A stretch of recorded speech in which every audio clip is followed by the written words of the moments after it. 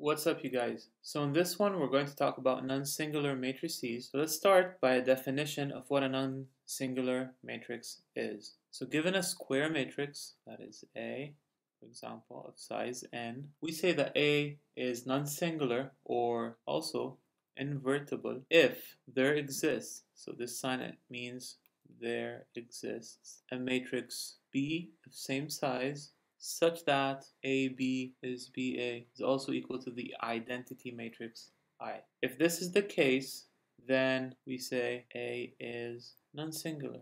If you can find such a B that commutes with A and gives I, then A is non-singular. Else, if there is no such matrix, then A is singular or non-invertible. In that case, A will not have the so-called inverse. If you look at B, for a moment, B is playing the role of 1 over A, right? So if we're back in the real number system, if I have a number A and I multiply it by B, which is the same as saying BA, in case I get a 1, then what is B? It is 1 over A, right? Or in other words, it is the inverse of A, right? All the same thing here. If you can find an inverse of A, then A is non-singular else it is singular or non-invertible, right? So we will be using the term inverse, right? So B is the inverse of A, if it exists, of course. So for that, let's mention a very important theorem. The theorem says that matrix A can have only one inverse. So how do we prove that? Well, one technique of proving uniqueness of something is assuming there's two of this something, right? And then in the end, you get a contradiction. So let's say we have two inverses, B and C, right? Well, what do we have? If we look at C times AB, what do we get? This is equal to CA first times B. Now, AB is I, right? This guy is I, and this guy is also I. Why? We have by assumption AB is I and CA is I. Well, that means we get CI is IB, which also means that C is B. Well, you assume two, two matrices B and C that are the inverse of A. You're assuming that they're different, but they turn out to be the same, right? We didn't get a contradiction, no, we got uniqueness, which is good, which is what we need. So this means that if you have an invertible matrix, well, guess what? Its inverse is unique. Now another theorem worth proving is the following. Let's say I've got a matrix B that is such that BA is I. Then AB also has to be I. Means in this case B and A commute. Well, how do we prove that? So first let's assume that BA is I. What does that mean? Let's take a look at AB times AB. Well, let's perform BA first. That is I, right? BA is I. So we get AB. So this line over here gave us that AB. AB is AB, right? Which also means that AB, AB minus AB is 0. We just subtracted AB on both sides. Now let's factor AB. We get AB minus I, right? This is 0. This means that either AB is 0 or AB minus I is 0, right? Now let's call this case 1, let's call this case 2, right? So in case 1, what do we have? If AB is 0, then ABA is also 0, right? But BA is identity by assumption. That's what we have, right? Since this guy is identity, so A has to be 0, right? Because if this guy is identity, then the only thing that could null or 0 this identity is by multiplying it by a 0. So we get that A is 0. Okay, so what's going on? But we have that BA is identity, so hold on. How come A is 0 but BA is identity? This cannot be true. You cannot multiply the 0 by a matrix that is B and at the same time get identity. You just cannot. So case 1 doesn't work. It's not from AB equals 0. It has to be case 2. So let's argue case 2. Let's see what happens when AB minus I is 0. We get that AB is equal to I. Now here there is no contradiction, so we got that AB is I starting from BA is I, right? So the proof is done. If B is such that BA is I, which we had here, we did all this logic. We got two cases. Case one is not possible. However, case two is, then we arrived at AB is I, and the proof is done. So this is it, and we can from now on denote B by a to the power minus 1. That is the inverse of A. So from theorem 2, we got that A times A inverse is A inverse times A is the identity, right? And from here, you can actually show that the inverse of the inverse is actually the matrix itself. So the inverse, of course, has a number of other properties that are fundamental in developing results in linear algebra for example, if we take a look at the following, the inverse A inverse multiplied by AB, this is the same as saying the inverse first multiplying A inverse by A, then B, well A inverse A is identity, so you get this, which is this, that is this, right? And so, what have we proved here? We have proved that AB, the inverse of AB is this matrix. So AB inverse is actually B inverse A inverse. What does that mean? Why is it important? It means when you're inverting a product of two matrices, you have to exchange the roles of the inversion of each matrix, then multiply. We can actually generalize this result to a product of M non-singular matrices. So to this extent, assume we have M non-singular matrices denoted by A1 down to AM. Well, if you're interested in A1 times A2 down to AM, the inverse of this matrix, A1, A2 down to AM, well, it is first AM inverse, then AM minus 1 inverse down to A2 inverse, A1 inverse. So we flip the order, then multiply. So the inverse of a product equals the product of the inverses in reverse order, okay? Now, we're not going to show you in this lecture how to compute the inverse. We're going to leave that for future lectures, okay? But keep in mind one thing. It is computationally expensive. So computing an inverse on a computer is not fast. it requires a lot of computations. Now, why is the inverse also important? It shows up in a number of applications, such as solving linear systems. We've got the following theorem for linear systems that says if matrix A referred to in linear systems as the coefficient matrix of let's say n equations in n unknowns, if this matrix has an inverse, then ax equal b has a unique solution x equal a inverse times b. Okay, this is very important. So the proof of this theorem is actually twofold.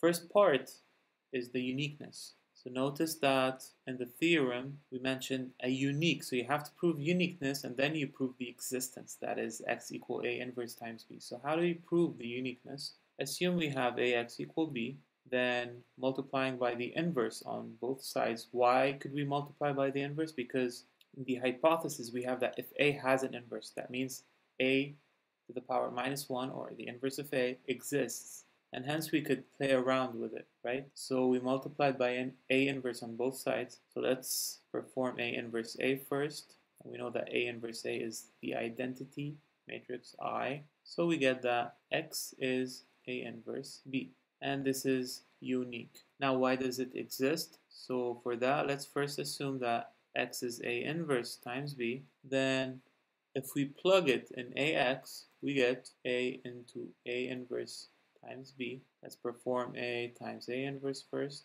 where we get ib, that is b, and hence it exists. So some remarks related to linear systems. So if ax is 0, this system, this particular linear system where b is 0, is said to be homogeneous. Sort of like differential equations, right?